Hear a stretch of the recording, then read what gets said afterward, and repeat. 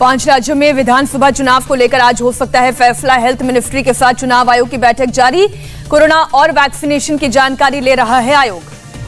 सुबह 11 बजे से हो रही है चुनाव आयोग और स्वास्थ्य मंत्रालय की बैठक। बैठक में स्वास्थ्य सचिव और नीति आयोग सदस्य वी के पॉल भी रहेंगे मौजूद। बीजेपी अध्यक्ष जेपी नड्डा का दो दिन का बंगाल दौरा, रद्द कोरोना के बढ़ते संक्रमण की वजह से फैसला। कोरोना के चलते छत्तीसगढ़ सरकार ने रायपुर में होने वाली स्वच्छता रैली स्थगित की। सभी सार्वजनिक कार्यक्रमों पर भी अगले आदेश तक लगाई रोक। पीएम की सुरक्षा में चूक को लेकर पंजाब के गवर्नर से मिला बीजेपी नेताओं का डेलीगेशन डेलीगेशन ने पंजाब बीजेपी के अध्यक्ष अश्विनी शर्मा शामिल। अश्विनी शर्मा ने बीजेपी कार्यकर्ताओं को रोकने का लगाया आरोप कहा राज्य सरकार की सहमति से इक्कीस अलग अलग जगहों पर बैठाए गए प्रदर्शनकारी। पीएम मोदी की सुरक्षा में चूक का मुद्दा पहुँचा सुप्रीम कोर्ट। चीफ जस्टिस की बेंच कल करेगी सुनवाई। एक आ, ने सीजीआई के सामने उठाया था मामला। पीएम मोदी की सुरक्षा में चूक को लेकर पंजाब सरकार ने बनाई तीन सदस्यों की उच्च स्तरीय कमेटी।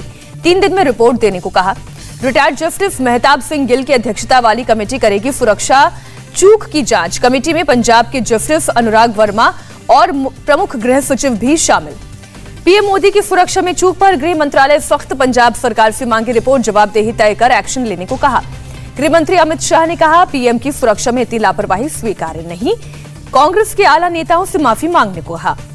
पीएम मोदी के फिरोजपुर से लौटने के बाद किसान प्रदर्शनकारियों ने मनाया जश्न, कहा, मोदी को रैली नहीं करने दी, यहाँ से भगाया। किसान प्रदर्शनकारी ने माइक पर लोगों को किया संबोधित, कहा, मोदी ने आपके सामने गाढ़ी थी कीले। बीकेयू क्रांतिकारी गुट के पंजाब अध्यक्ष सुरजीत कुमार फुल ने भी अपने फेसबुक पेज पर साथियों को बधाई दी, कहा, पीएम को वापस लौटने को किया मजबूर। आज पंजाब प्रदेश अध्यक्ष की अगुवाई में बीजेपी नेताओं का प्रतिनिधिमंडल। गवर्नर से मिलेगा, पीएम की सुरक्षा में चूक का मामला उठाएगा। केंद्रीय मंत्री गजेंद्र सिंह शेखावत का चन्नी सरकार पर निशाना, कहा पीएम में, पीएम के सुरक्षा में चूक, पंजाब सरकार की विफलता। राज्य सरकार और पुलिस की मिली भगत करार दिया।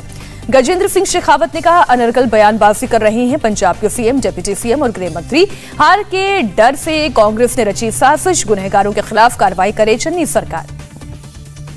पीएम की सुरक्षा में चूक को लेकर प्रहलाद जोशी ने चन्नी सरकार को घेरा।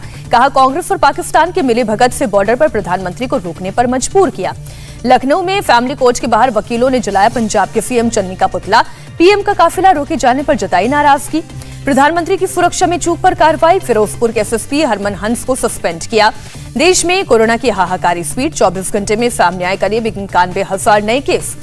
देश में कोरोना का संक्रमण दर छह दशमलव चार तीन फ़ीसद, चौबीस घंटे में तीन सौ पच्चीस संक्रमितों की मौत। केंद्रीय स्वास्थ्य राज्य मंत्री डॉक्टर भरत प्रवीण पवार को भी हुआ कोरोना, खुद को घर में किया आइसोलेट। देश में ओमिक्रॉन की कुल संख्या बढ़कर दो हज़ार छह सौ तीस हुई, महाराष्ट्र में सबसे ज़्यादा सात और दिल्ली में चार सौ पैंसठ मरीज़। कोरोना को देखते हुए अटारी में बीटिंग रिट्रीट समारोह में आम लोगों की एंट्री पर रोक, बीएसएफ ने तत्काल प्रभाव से लगाई रोक। महाराष्ट्र में कोरोना का महाविस्फोट जारी, एक दिन में चौवालीस फ़ीसद बढ़े केस, चौबीस घंटे में छब्बीस हज़ार पाँच सौ अड़तीस संक्रमित। शिवसेना सांसद हेमंत तुकाराम गोड से हुए कोरोना संक्रमित माइल्ड लक्षण दिखने के बाद बुधवार को कराया गया टेस्ट। महाराष्ट्र के मॉलशरस से बीजेपी के विधायक राम सतपुते कोरोना संक्रमित। सतपुते ने खुद को आइसोलेट किया। बीजेवाईएम के राष्ट्रीय उपाध्यक्ष भी हैं। महाराष्ट्र के पूर्व मंत्री बाबा सिद्दीकी कोरोना पॉजिटिव, हल्के लक्षण की वजह से खुद को घर में ही किया आइसोलेट। मुंबई के अंधेरी में लोगों को कोरोना संक्रमण का नहीं है डर, बस स्टैंड पर यात्रियों की लंबी कतार, सोशल डिस्टेंसिंग की उड़ी धज्जियाँ, बिना मास्क के नज़र आए लोग। कॉर्टिलिया क्रूज पर अब तक कुल 205 लोग कोरोना से संक्रमित, एक सौ उनतालीस और यात्रियों की रिपोर्ट आई पॉजिटिव। मुंबई में डॉक्टर्स पर भी टूट रहा है कोरोना का कहर पिछले तीन दिन में करीब दो डॉक्टर पाए गए पॉजिटिव महाराष्ट्र सरकार ने फ़िलहाल लॉकडाउन से किया इनकार। सभी कॉलेज और यूनिवर्सिटी 15 फरवरी तक बंद। एग्रीकल्चरल यूनिवर्सिटी को छूट। दिल्ली में कोरोना केस में भारी बढ़ोतरी। एक दिन में साढ़े दस हज़ार से ज़्यादा मामले। सात महीने बाद टूटा रिकॉर्ड चौबीस घंटे में आठ लोगों की गई जान। दिल्ली को कोरोना से राहत नहीं। स्वास्थ्य मंत्री सत्येंद्र जैन के मुताबिक आज भी चौदह हज़ार के करीब आएँगे केस। पॉजिटिविटी रेट चौदह फ़ीसद तक पहुंचेगा। स्वतेंद्र जैन ने कहा, दिल्ली में लॉकडाउन की ज़रूरत नहीं, तीन दिन बाद अगले कदम के बारे में फैसला करेगी दिल्ली सरकार। एक सीमा के बाद केस रुकने की जताई उम्मीद। दिल्ली में नेशनल जूलॉजिकल पार्क अस्थायी रूप से बंद, कोरोना के बढ़ते संक्रमण को देखते हुए फैसला। दिल्ली सरकार ने अपने सभी कर्मचारियों की छुट्टियाँ रद्द की, केवल मेडिकल अवकाश ही मिलेंगे। नेशनल म्यूज़ियम की सभी गैलरी को अगले आदेश तक बंद किया गया। म्यूज़ियम के सभी विभाग कोविड गाइडलाइंस के अनुसार खुलेंगे। हरियाणा सरकार ने गुरुग्राम, फरीदाबाद समेत ग्यारह जिलों को घोषित किया। रेड जोन ज़रूरी सेवाओं को छोड़कर सभी मॉल और बाज़ार शाम छह बजे तक ही रहेंगे बंद। रेड जोन के ग्यारह जिलों के सभी सिनेमाघर थिएटर मल्टीप्लेक्स रहेंगे बंद। पंचकुला के अलावा सोनीपत, पानीपत, करनाल, कुरुक्षेत्र रोहतक रेड जोन में। पश्चिम बंगाल में भी कोरोना के चौदह हज़ार से ज़्यादा नए मामले 24 घंटे में सत्रह लोगों की मौत। टीएमसी सांसद मिमी चक्रवर्ती कोरोना संक्रमित खुद को होम आइसोलेशन में रखा। कहा डॉक्टर्स की सलाह ले रही हूँ।